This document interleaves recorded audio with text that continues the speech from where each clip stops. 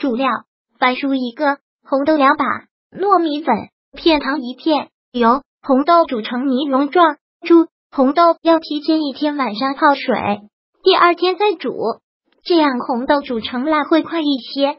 接着用勺子把它压成泥蓉，番薯削皮切块，放碟子上蒸十五分钟左右，等番薯软了就可以出锅。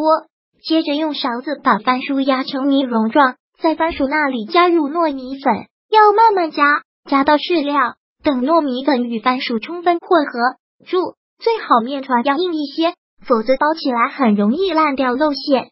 把弄好的番薯粉捏一小块，像汤圆那大小。在中间放入做好的豆沙，搓圆，在锅中加一点点油，放下去压一压，起锅。注：在煎饼时要慢火，火一大就会焦。如果喜欢本视频，请分享并订阅本频道，别忘了按赞哦。